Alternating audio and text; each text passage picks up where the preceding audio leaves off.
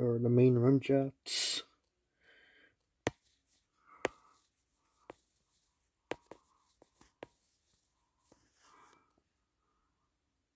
And that's where they're located. They're located at the front of the wall to help push waste.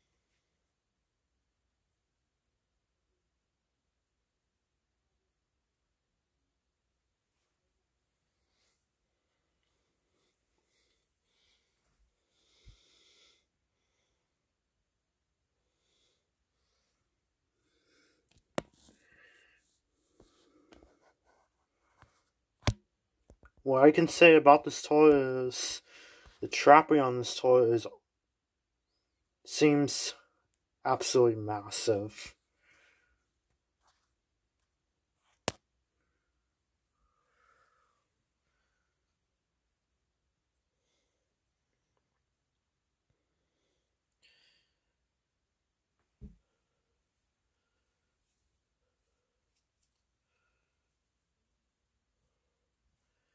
It does have some glaze cracks, but no structural ones, too. So it should be fine.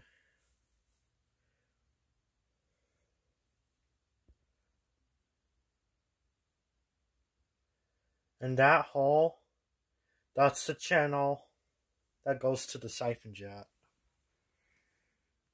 When it goes to that hole, the water will be going down like that. And it will make the siphon jet shoot water into the trap. And same goes with the same with the other side. The other side has one too.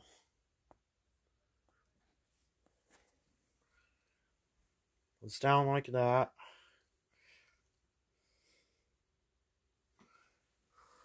And shoots water. Water comes from both of the hole comes in both of the holes which are right here. And then they go underneath and the siphon jet starts shooting water. And then after that the water goes into the rim which is this part right here. I'll show you guys that right now. This is the front part that goes through the rim I believe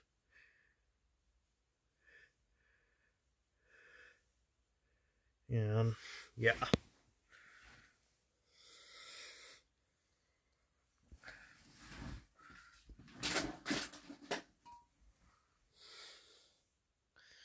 Now, I'll be right back while I flip the toy upside down.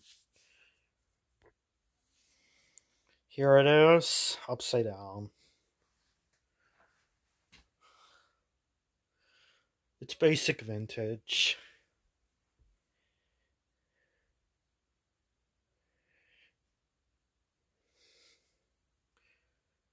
There's an M right there. Maybe it means for.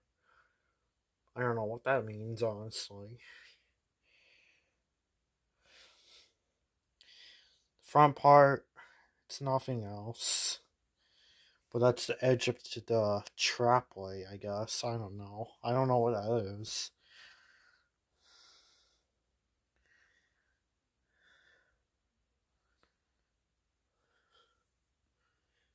And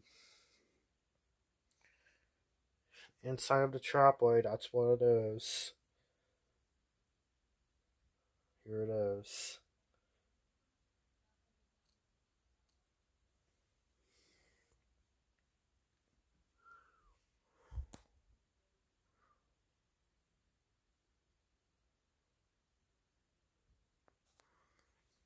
I'll show you guys where the date is. So I believe the six, there's a six right here. Let me turn my camera around. Six. One.